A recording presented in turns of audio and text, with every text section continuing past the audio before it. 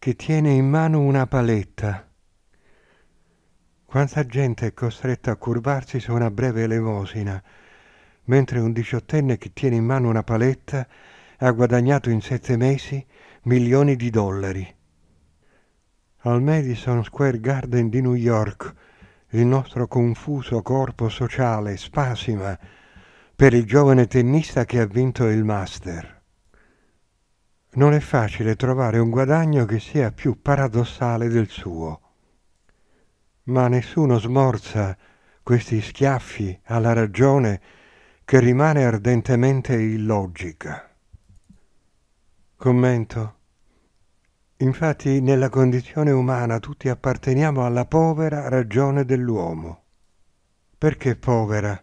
Perché si affida ancora alla logica della mente e non del sentire.